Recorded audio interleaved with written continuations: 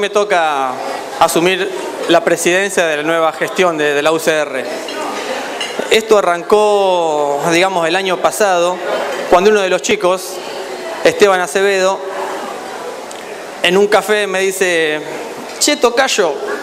ya cuando me dice así, digo, este algo me va a pedir. Y me dice, vos tenés que ser el próximo presidente del comité. Ya ni, ni una pregunta me hizo, fue una afirmación. Mi respuesta inicial fue no, pero no por algo, no por una cuestión personal que no pudiera estar a la altura, sino realmente porque el grupo que está formado había gente con gestión, con experiencia, que tranquilamente podría estar ocupando ese puesto y yo acompañarlos desde el lugar que me, que me tocara. Pero bueno, después lo que parecía o uno pensaba que era un premio, un regalo que podía estar recibiendo, lo, lo tomé como un compromiso y una responsabilidad por formar parte de un grupo que cuando el grupo lo decide, porque la voz de Esteban, después me di cuenta que era la voz del equipo, es difícil rechazar, porque uno ya siente que los está defraudando.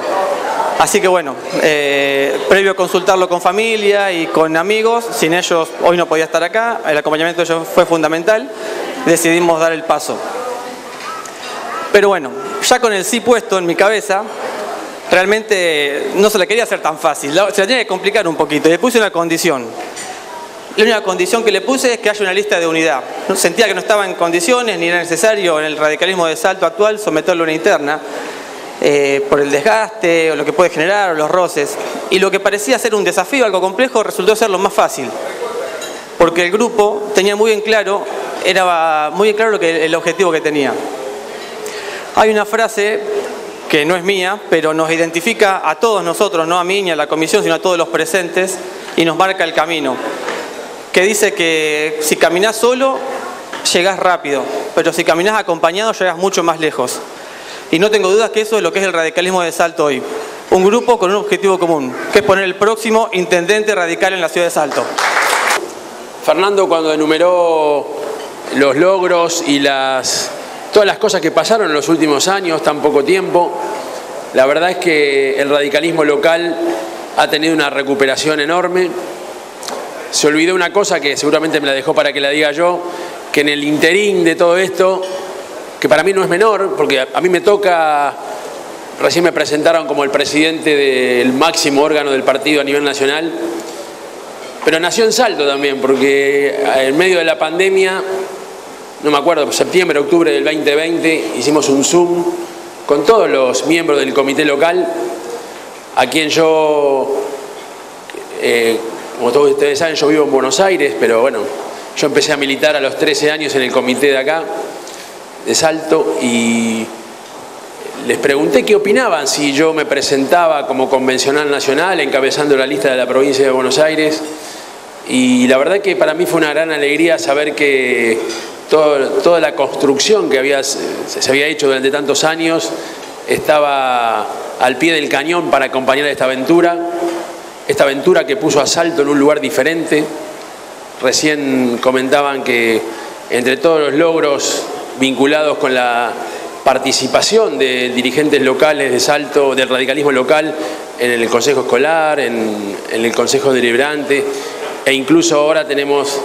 felizmente una diputada provincial que también aprovecho para decirles que les manda un saludo y que me pidió expresamente que la disculpe porque está con una conjuntivitis brutal que le impidió venir y acompañarnos hoy la doctora Viviana Diroli. Y en ese Zoom eh, yo solo recibí, más allá de, la relación personal, que obviamente tengo incluso familiar con Fernando, con Leopoldo, eh, recibí un apoyo que para mí fue muy significativo porque cuando uno se aleja mucho de, su, pueblo, a veces pierde un poco de perspectiva o pierde inmediatez. Y vi un grupo muy unido, con muchas ganas de trabajar, esto que contaban, ¿no? que venían trabajando fuertemente y haciendo crecer el partido, el Choco también. Eh, y así que básicamente quería agradecer, porque mm, que yo sé hoy presidente de la Convención Nacional, nació en Salto, nació en ese Zoom, y se lo dije a Fernando, a Leopoldo, al Choco esa noche en La Plata, en mayo, cuando fui elegido, que yo me acordaba mucho de ese Zoom porque para mí fue muy importante encontrar tanto respaldo. Así que eh, eh, esa obra les pertenece eh, y gracias por dejarme poner la firma al pie de la página. Dicho esto, hoy es un día muy importante porque hay una renovación de autoridades que no es una formalidad solamente, es un hecho político. La presencia de la nueva comisión, de Esteban, Estela, Claudia, Leopoldo, Silvia, eh, muestra que hay una continuidad en el trabajo, que nos estamos preparando para afrontar el 23 con, con fuerzas, con ganas y tenemos que estar todos unidos porque lo que viene es difícil y estamos por primera vez en mucho tiempo con la posibilidad clara, nítida, objetiva de, liderar el espacio que va a gobernar la ciudad a partir del 2023. Si nos medimos por los antecedentes de la elección del año pasado, claramente somos los,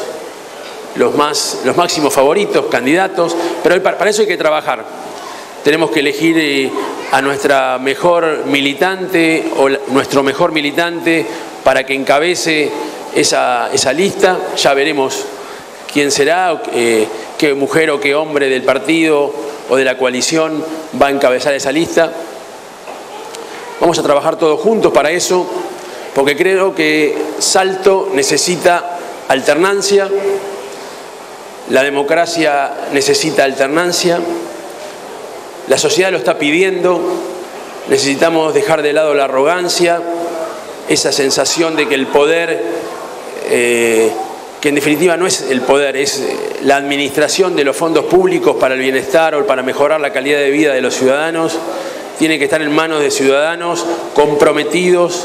con los demás.